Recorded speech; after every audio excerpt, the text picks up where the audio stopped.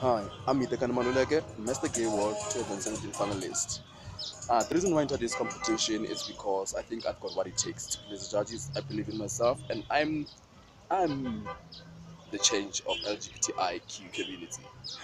Uh, as the boy from a township where life is difficult to be open, I've decided to be open this year throughout Mr. Gay World of Africa because it's an opportunity for me to let people know who I am.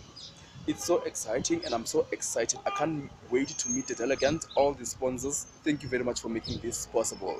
For my social media campaign that I'm doing this year, I'm helping kids at Lehora Primary School to do their homeworks and assignments every day after school, depending on my shift at work, since well I've been employed as a warehouse clerk at Bellamia Shoes, simply known as Kingsmead.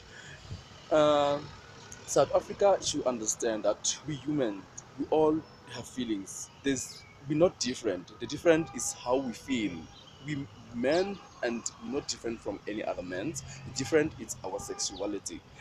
Uh, as Mr. Gay World finalist, what I would like to change is how people treat transgenders, drag queens, and us as gays, straight acting, whoever we, whatever we're calling ourselves, we're still human.